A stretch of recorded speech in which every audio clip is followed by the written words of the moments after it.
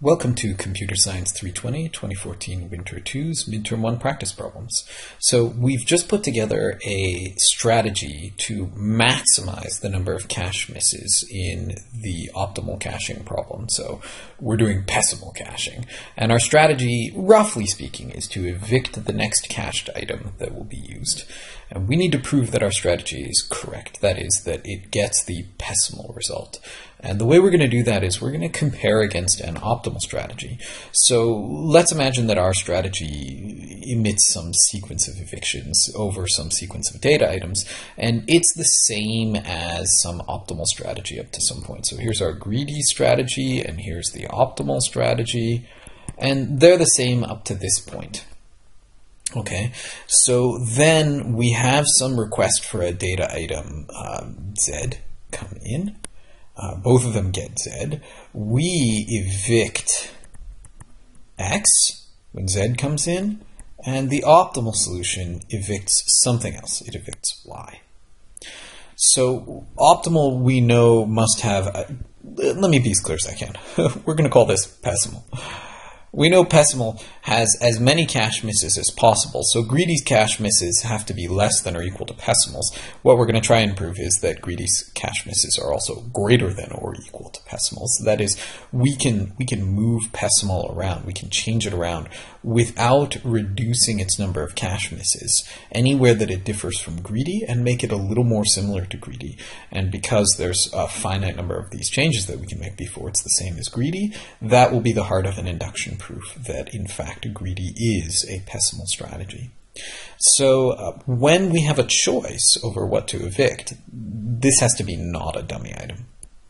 We don't care about the dummy items. It doesn't matter what order they go in. So Z's not a dummy item uh, that we are, uh, sorry, X and Y are not dummy items that we're getting rid of uh, we at this point have to choose a real item. We know that greedy chooses the next cached item that will be used. So if we if we look down the sequence here, at some point x is used, and then maybe y is used later on. Uh, we don't know. Okay, so they're both going through the same data item sequence, but X is the next thing that's going to be accessed that's actually in the cache. Now, there can be other stuff in between here. There can be other things that are not in the cache that occur in between, but Y cannot appear in this area here because it's in the cache. Otherwise, it couldn't be evicted. Okay, so what's going to happen?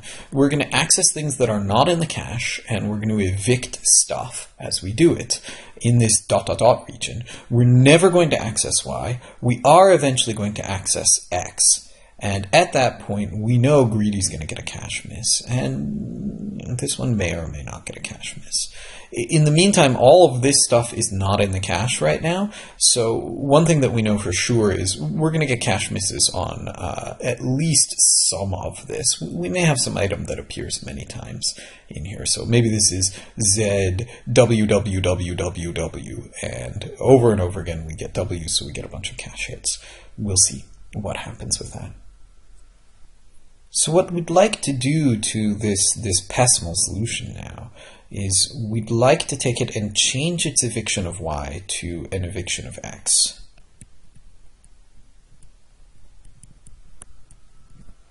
And that'll make it one step closer to greedy. But the question is, what impact will that have on its overall number of cache misses? Okay, so what we need to worry about is accesses of X, accesses of Y, evictions of X, and evictions of Y.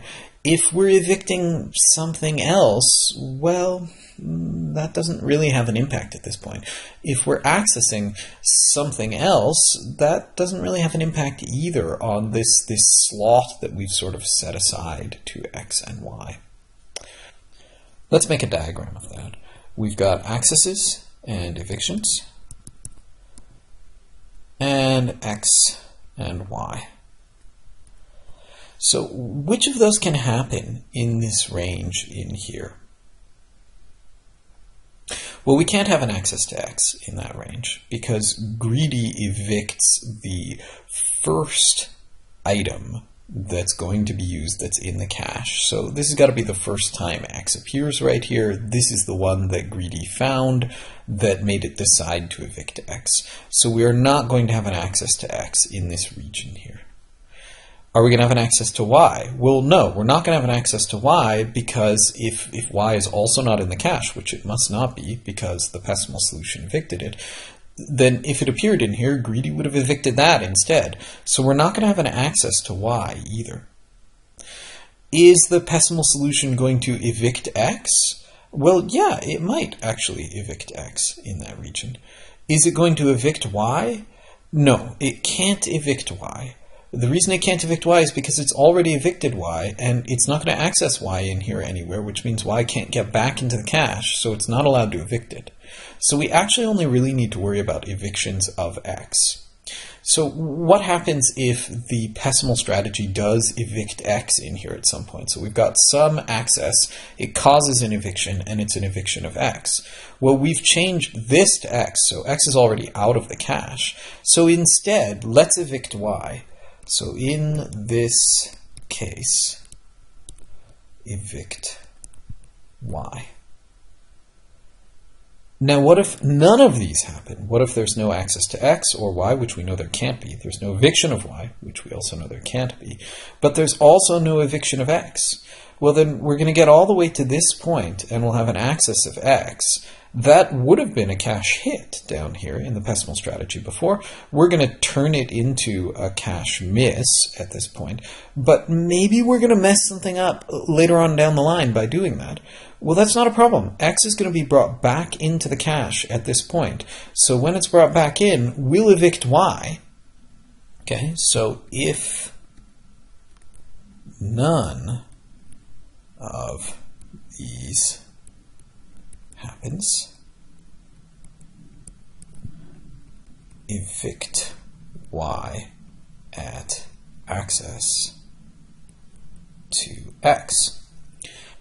At that point, one of two things happens. Either we've restored the state of the pessimal strategy to where it was before in terms of what its cache looks like. If it evicted X at some point during here, then we change that into an eviction of Y, we change this into an eviction of X, we end up with the same number of evictions and the same set of stuff in the cache at this point.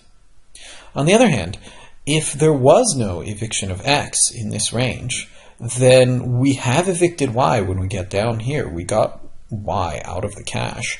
And X, which used to be a cache hit, is now a cache miss. We've actually increased the number of cache misses without changing what's in the cache.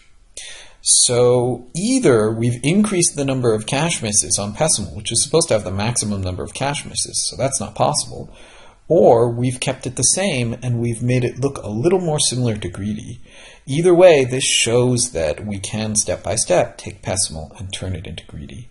So let's try and make this a bit more formal since this is all sketchy, sketchy diagrams. So what we're going to say is uh, consider the first data item on which greedy and a pessimal solution differ in evicting a non-dummy item. The dummy items are not interesting.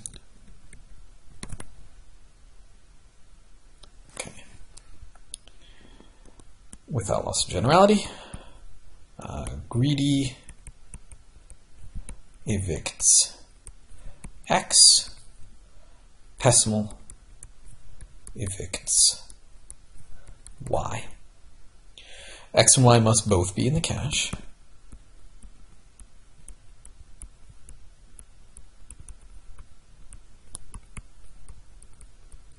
Or we're breaking rules. X must be the next cached item in the data stream.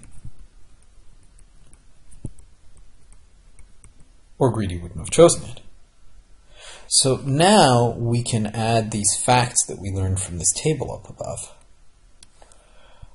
Between this eviction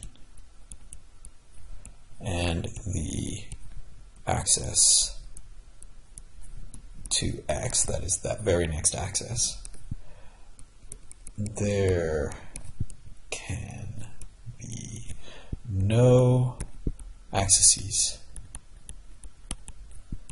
to x or y, else greedy would choose based on those.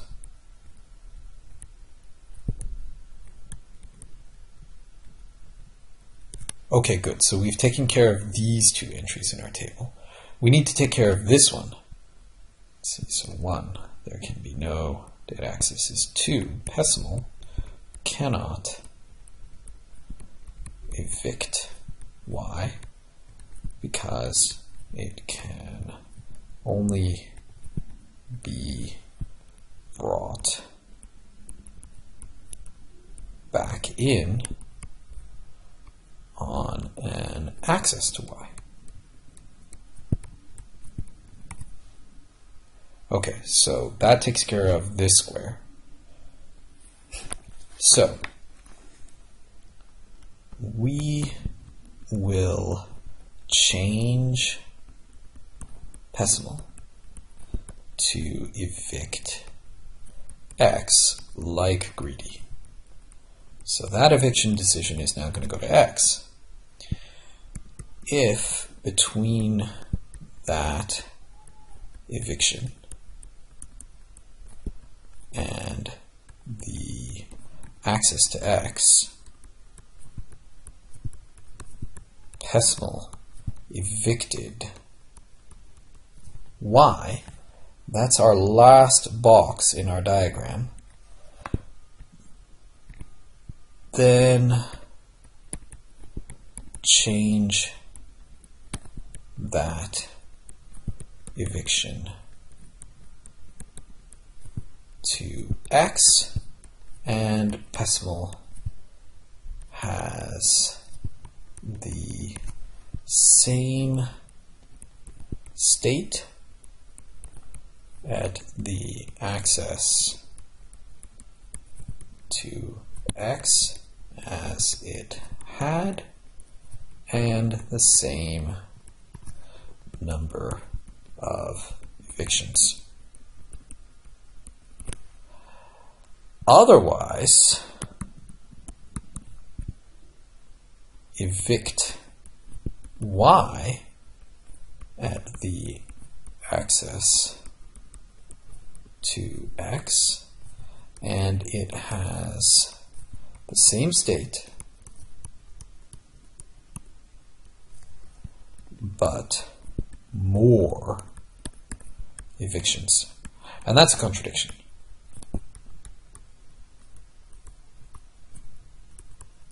So that can't actually happen.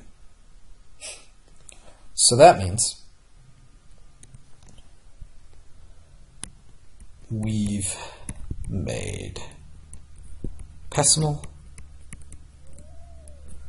one step more similar